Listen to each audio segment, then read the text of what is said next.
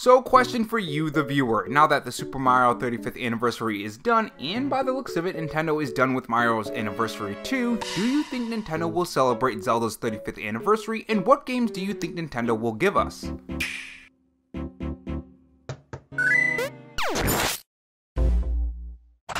Hey guys, it's Rob here, and welcome back to the Robo Tron Show, where we cover the latest gaming news, leaks, and rumors from Microsoft, Sony, and Nintendo in 2020 and beyond. If you want to be kept up on the latest gaming news, make sure you click that red subscribe button below this video and that notification bell so you know when I upload. And if you're interested, I have a Patreon, which link to that will be in the pinned comment along with my Twitter account.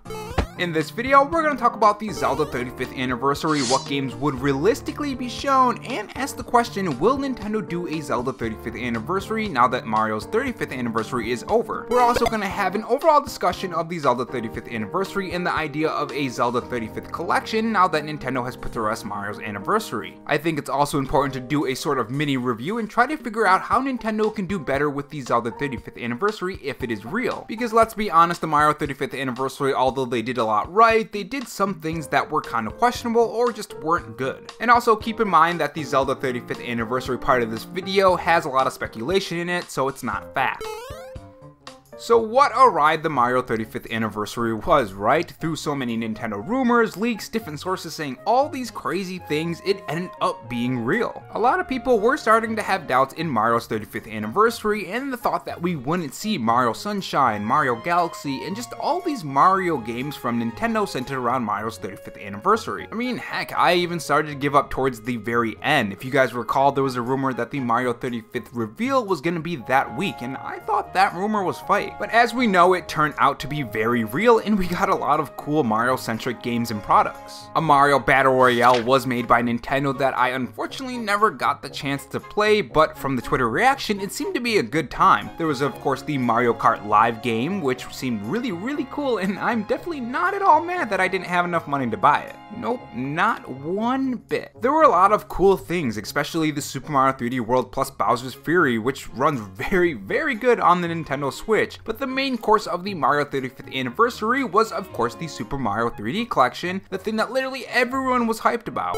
Until it was revealed of course, and it kind of split everyone. Everyone had a side to pick. One side didn't like that it was just a slightly better version of the original games, the others were fine with it and were happy that we can finally play these Mario games on the go anywhere, anytime. And I'll add a third side in there as well. For me, I'm glad that we can preserve these Nintendo games longer than usual. Something that we're seeing going wrong with PlayStation in their PlayStation Store. A lot of the digital only games are being lost. Over 2,000 games are lost on the PSN store because it's digital only. It later came out that these games were being pulled off by emulation, which stirred the pot of anger even more, though this does leave room for options of other games coming back as well, which is also a good thing. Unfortunately, it also brought room for the Zelda 35th anniversary to be treated the same way as the Mario 35th anniversary games, as well as any other games that would be brought back on the Switch through emulation.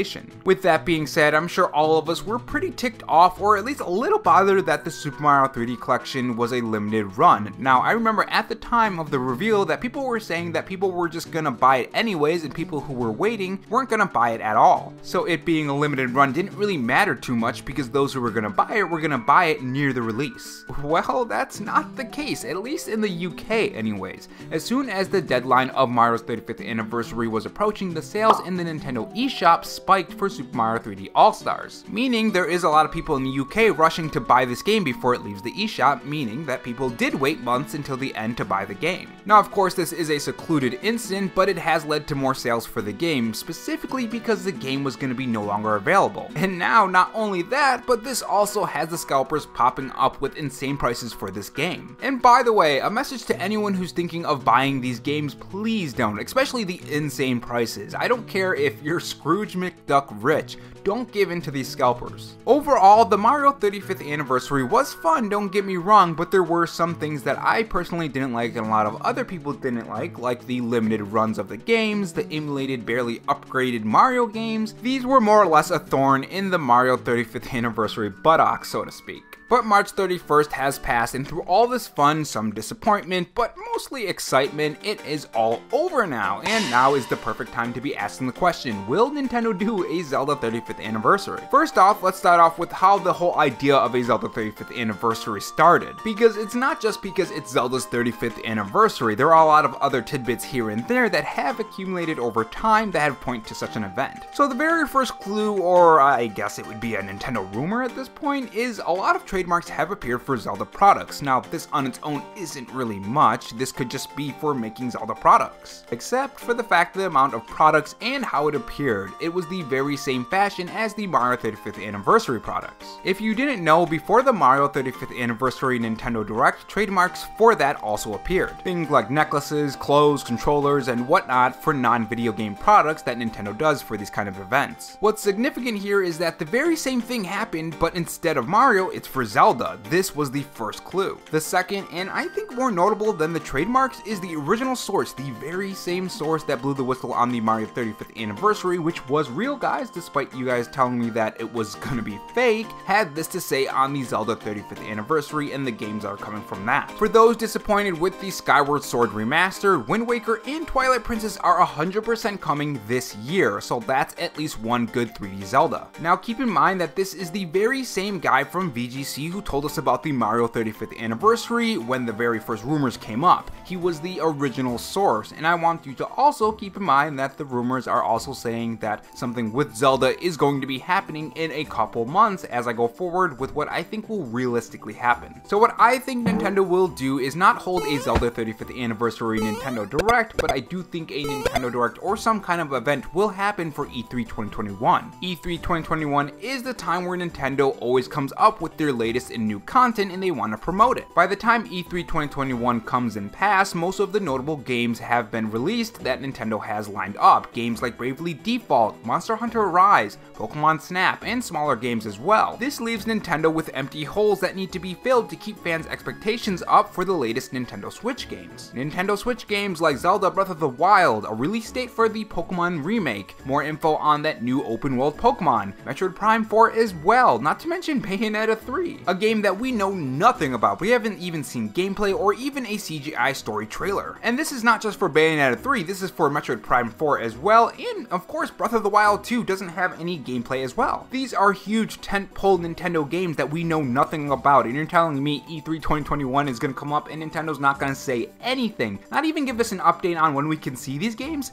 That'd be crazy. I mean, it's been over 600 days since the last Legend of Zelda Breath of the Wild 2 trailer. I think at least a story trailer is due by now, if not gameplay. So Nintendo realistically probably will throw an E3 digital event that is centered around a lot of Nintendo Switch games and will feature Zelda games. I think since it's been so long since the last trailer, we will get a significant portion of this devoted to Breath of the Wild 2. After that portion is done and we've seen some gameplay, some more info on the game, and perhaps even hopefully a release date for Legend of Zelda Breath of the Wild 2, I think a Nintendo Direct will transition into celebrating Link's anniversary. I think they're gonna show off a Legend of Zelda 35th anniversary that has Twilight Princess, Wind Waker, and Mask. In my opinion, these are the most likely candidates for the collection, and I think we won't see the collection until holiday season, and here's why. The current narrative around the Legend of Zelda Skyward Sword and other Zelda games is that Nintendo is holding back because of marketing. They don't want the Skyward Sword sales and the collection sales to cannibalize each other, so they're waiting, and I think that they're gonna reveal it at E3 and release it during holiday season of 2021. Skyward Sword is releasing on July 16th of 2021. This is plenty of room to gather sales on the game and then release the collection of Zelda's 35th anniversary during the holiday season. It's almost like a reverse Mario 35th anniversary where instead of Bowser's Fury releasing months after that direct, the collection would release instead and we would get Bowser's Fury closer to the Mario 35th anniversary direct. We will also probably get the usual Zelda clothes, merchandise, and whatnot as well. It won't be as big as the Mario 35th anniversary. I think it's going to be a smaller anniversary celebration, which is why I think it's going to be just a small part of that E3 Nintendo Direct. And Nintendo is not going to hold their own Zelda 35th Anniversary Direct. Now, as I said in the beginning of this video, we are going to talk about what I think Nintendo can do better with the Zelda 35th Anniversary. So first off, I think it would be better to have these other collection not be a limited release. The fact is, is that the people who are buying your games, Nintendo have limited money right now, and for those who buy games for multiple platforms, they need to be careful on how much money they're spending. Meaning they have a limited amount of games that they can buy per month or per week or whatever your daily budget is. Maybe they do want these games, but not right now, and they're saving up money that they would usually spend on other games for the newest Pokemon Snap or the Pokemon Diamond Pearl remake. Heck, if you manage to get a PS5 or an Xbox Series X and have a Switch and a PC, you have to be really, really careful with your money. So just cut the limited run and just release the game like any other normal game. I'd also like to see a better remaster of these games. While the upgrade in the Mario 35th Anniversary was an upgrade, I think you can do better. Now, of course, aside from Wind Waker, because that game just looks beautiful on its own, and the only thing you can really do is bump the resolution up, and the Nintendo Switch can only handle so much resolution. Not only that, but please have enough stock for retailers so scalping does not become a problem. We have had to deal with scalpers a lot this year, and I don't think we want to deal with them any more than we are forced to. A lot more stock would be appreciated. With that being said, guys, do you think that Nintendo is going to do a Zelda 35th anniversary, and what do you think about Mario's 35th anniversary overall? What is your review on the anniversary? I think they will do a Zelda 35th anniversary, but I'm really curious on your thoughts. Tell me in the comment section below, and if you enjoyed this video, make sure you leave a like on the video. It really, really, really helps the video, and of course subscribe for more videos just like this. Thanks for watching guys, and remember, stay safe, stay charged, and have a good one. Also, before I leave, if you got to the very end of this video, uh, here's a cookie. I'm actually curious on how many people are going to comment this in the comment section. It's going to be fun to see. I'll see you guys later.